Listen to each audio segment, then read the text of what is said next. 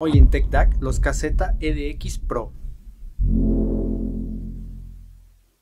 Hola, ¿cómo están? Bienvenidos, como lo escucharon, hoy tenemos los KZ EDX Pro y vamos a las especificaciones. Tenemos unos IEMs con un driver dinámico de 10 milímetros, una impedancia de 24 ohms y una sensibilidad de 112 decibeles, lo que los hará muy fáciles de mover con tu celular o con un dongle DAC. La respuesta de frecuencia va de los 10 a los 20.000 Hz. Sí, esto es raro, pero así venían las especificaciones, desde los 10 Hz es la frecuencia. Una entrada QDC de 0.75 milímetros y su precio va de los 2.50 a los 6 dólares, que esto es equivalente a entre 40 y 110 pesos mexicanos. ¿Qué hay en la caja? La caja es la típica caja de caseta con la foto de los IMs al frente y las especificaciones por atrás. Tenemos el típico también cable de caseta, que pues es un cable muy sencillo, como que ustedes ya conocen, y que si pueden cámbienlo por favor. Y las típicas puntas de caseta eh, de estrella en tamaños grandes, medianos y pequeños. Y aquí tenemos los IMs. Su diseño es simple pero cumplidor. Viene presentado en tres colores, unos completamente transparentes, otros verdes que son estos y en negro. Está hecho completamente en resina que se siente rígida, pero no tan robusta, por lo que una plastón accidental quizá pueda quebrarla. Al centro de la placa frontal encontramos un inserto metálico, con una rejilla por debajo que se alcanza a apreciar a través de los pequeños agujeritos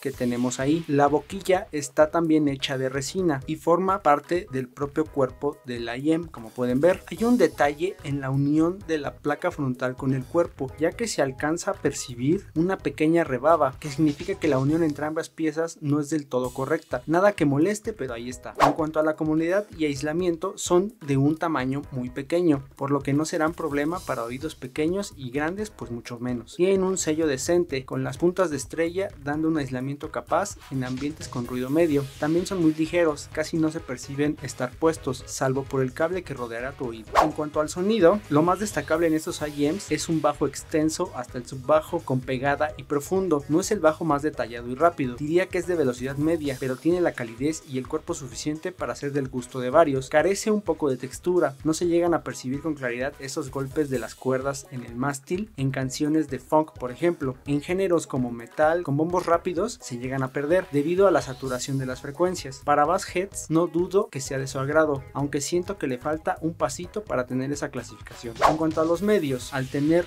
bajos y agudos alzados, estos se quedan atrás, por lo que aquí no encontrarás nada destacable en voces femeninas y masculinas. Ojo, esto no los hace malos, las voces cumplen con la afinación a la que apuntan estos IEMs. Igualmente disfrutarás tus canciones. Instrumentos en general se escuchan bien a secas, en especial las guitarras. En cuanto a agudos, tenemos un agudo alto que se siente presente. No tiene tanto brillo, pero sí se siente aireado. No es el agudo con mejor claridad, pero cumple para el rango de precio. No se perciben sibilancias notables y eso ya es destacable. Aunque se siente presente, no es una IEM que fatigue. Digamos que aún así se sienten controlados. En cuanto a escenario, es un escenario promedio con una amplitud decente. La separación instrumental sufre debido a lo que ya les había comentado respecto a la saturación que se llega a percibir incluso hasta en los medios. Eso complica que haya buena división de los diferentes instrumentos ya que se atiborran todos en un solo punto. La imagen, debido a lo anterior, también se ve afectada ya que no se puede distinguir bien el posicionamiento de los instrumentos. Ahora antes de mi recomendación, si amas los IEMs tanto como yo, deja un like en este video y suscríbete al canal, eso me ayudará para que YouTube siga recomendando este contenido y para que nuestra comunidad siga creciendo y así podamos seguir charlando sobre esto que nos apasiona. No se puede negar que la principal ventaja de estos IEMs es el precio. Me parece que por 50 pesos mexicanos o 3 dólares no vas a encontrar un mejor IEM para iniciar en este mundo. Además es una forma amigable de entrar ya que tienen un sonido cálido y con buenos bajos que será familiar para la mayoría. También funcionan si quieres una IEM de batalla para andar trayendo de arriba abajo. Coincide un poco con el QKZ